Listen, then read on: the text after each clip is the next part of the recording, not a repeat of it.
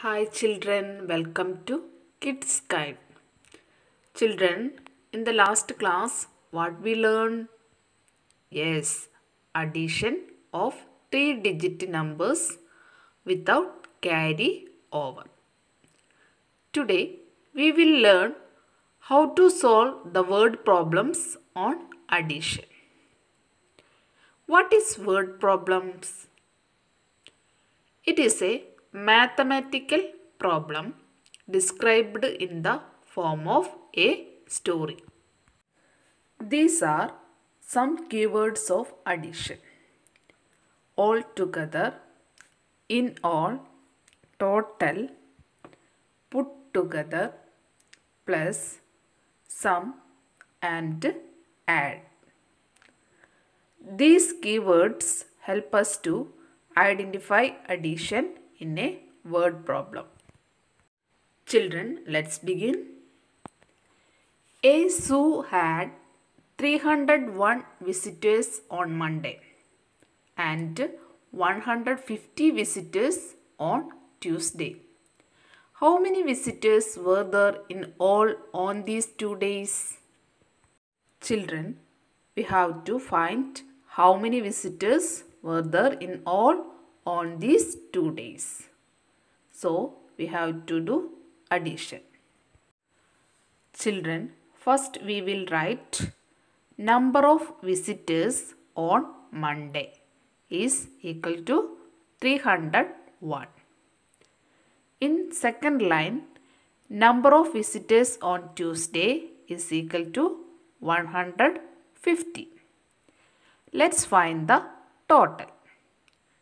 Children, first add the digits in the ones column. 1 plus 0 is equal to 1. Any number plus 0 is equal to same number. 1 plus 0 is equal to 1. Write 1 in the ones column. Next, add the digits in the tens column.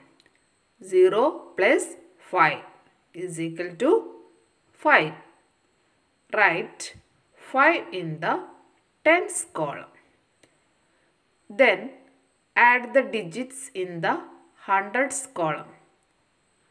3 plus 1 is equal to 4. Write 4 in the hundreds column.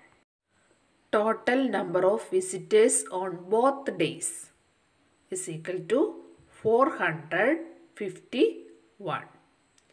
Thus, there were 451 visitors to the zoo on the two days. Let's see another example.